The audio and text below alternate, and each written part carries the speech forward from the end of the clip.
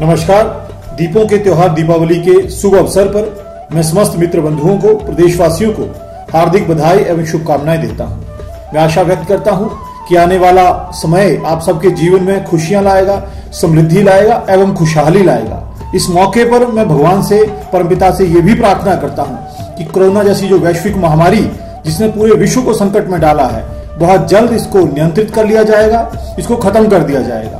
परंतु तब तक हम सब वो तमाम सावधानियाँ बरतें जो समय समय पर सरकार द्वारा, संबंधित विभाग द्वारा जो इंस्ट्रक्शंस दी जाती हैं, जो चेतावनियाँ दी जाती हैं, जो सुझाव सुझाव दिए जाते हैं, उन सब का हम अक्षर से पालन करेंगे इसी आशा के साथ। एक बार फिर से आप सबको दीपावली के शुभ अवसर पर बहुत बहुत बधाई, एवं शुभकामनाएँ। धन्यवाद।